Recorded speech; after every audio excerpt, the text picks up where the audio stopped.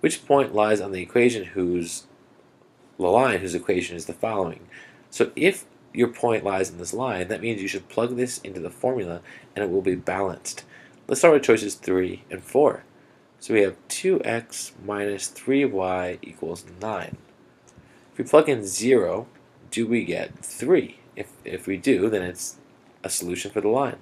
So 2 times 0 minus 3 times 3, does that equal 9? 2 times 0 is 0 minus, um, sorry, I just realized we should plug in 0 and get 3, but another way of looking at it is to plug in 0 and 3 and see if the equation is balanced. And here you can see it's not. 2 times 0 is 0, minus 3 times 3 is, is minus 9. That's negative 9, and negative 9 does not equal 9. So choice 3 is, is not a good one. Uh, let's try choice 4.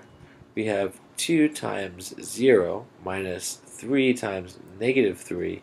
Does that equal 9? 2 times 0 is 0.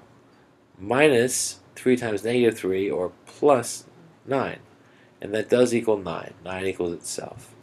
So that's, that's choice number 4.